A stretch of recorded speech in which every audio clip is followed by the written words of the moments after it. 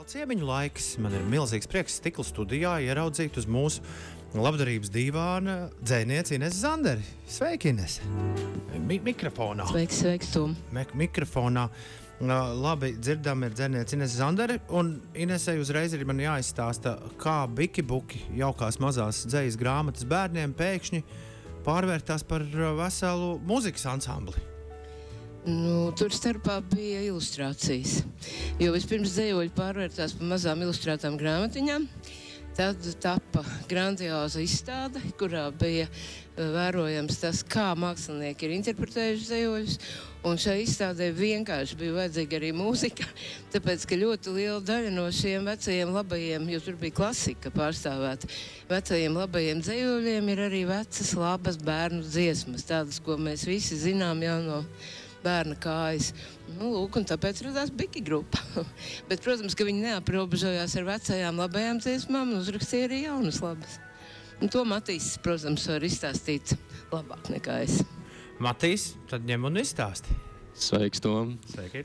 Uh, nu, tā mēs rada, rad, radījāmies pirms kaut kāda uh, gada aptuveni, jo priekš tās izstādes. Um, un tas jau viss īstenībā kaut kā ir, ir ģimenē, jo mūsu piektais grupas biedrs Patriks Stepe, kurš šodien vienkārši nevarēja ierasties, viņš tomēr ir ģimenē ar, ar, gan ar Inesi, gan ar grāmatu izdevniecību Liels un Mas, un viņš tad mūs tā arī sasauc kopā. Uh, tā kā sveicienu viņam.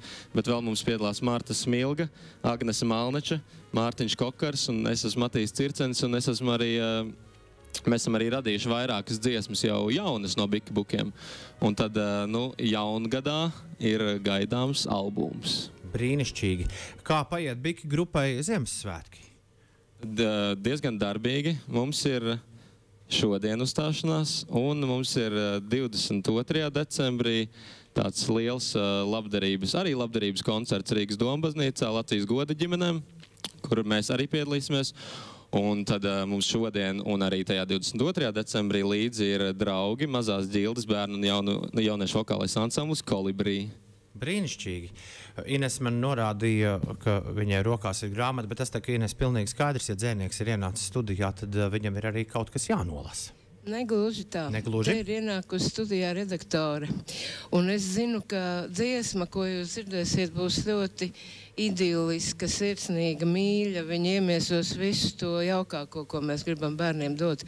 Bet es zinu, ka jūs arī kolekcionējat grāmatas par pusauģiem, kuriem neiet tik spoži. Un jūs bijāt jau savā sarakstā minējuši šo grāmatu, čehu autoras Olgas Černas grāmatu Klāruks un 11 vecmāmiņas, ko tulkojas Ing Ingmāra Balodi. Nu, Klārukam nav ne mammas, ne tēta, ir tikai vecētiņš. Un tad, kad vecētiņš nokļūst slimnīcā, tad viņu sāk audzināt visas iespējamās vecmāmiņa, vecētiņa jaunības draudzenes. Un katra no viņām to dara pēc sava prāta. Šī tomēr ir vēl tāda nu, bērnišķīgāka grāmata, bet arī ļoti labi parāda to, cik ļoti bērni ir atkarīgi no pieaugušo intereses un uzmanības, un kā pieaugušie mēģina viņus pavērst dažādos virzienos. Bet šī grāmata, kura mums ir kā sauklis tagad, tas ir gandrīz kā plakāts. Kā būtu, ja jūsu pasaules idioti visi kopā aizvāktos uz citu saules sistēmu? To saka 16-gadīgā Maija kura ir vecākā māsa ģimenē, kur katrai māsiņai ir savs tētis, ja pareizāk sakot, nav neviena. Un viņa cieš gan no tā, ka šī ģimene tiek uzskatīta par galīgi garām, un viņas māma par galīgi garām. Gan no tā, ka viņai ir jāstrādā paralēli skolē un jāpelna nauda, lai mammai palīdzētu uzturēt mazās māsiņas. Gan no tā, ka viņai ir 42. izmērs ar visādām replikām, kas no tā izriet. Un ģeniāli tā grāmata ir tādā ziņā.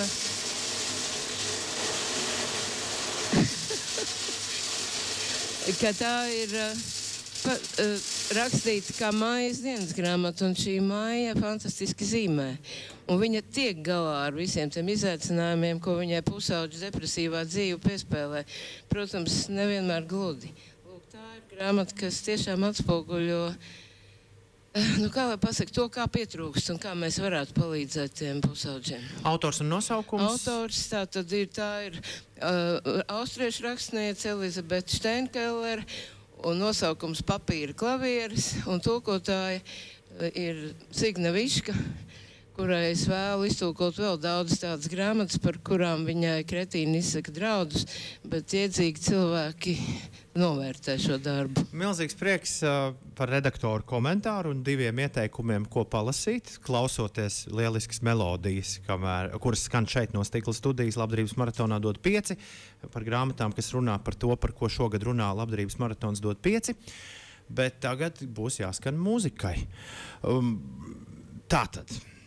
Pie mums ciemos ir Bikija grupa un vokālais ansamblis Kolibrī. Tagad skanēs čuču mūža. Ir gan um, nu, 10 un 31 minūte no rīta. Dagnijas Dreikas zējolis. Kāpēc šāda izvēle? Par čuču mūžu. 10.30 no rīta. Jā, nu, laiku jau mēs neizvēlējāmies. mēs tikai dziesmu. Aiziet, klausāmies.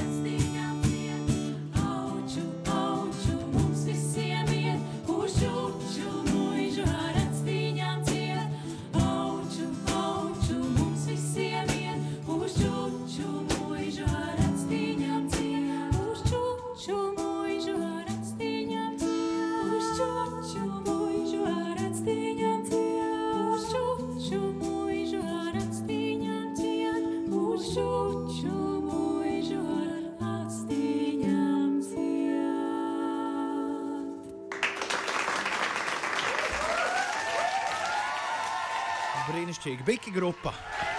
Dzīvajā stikla studijā.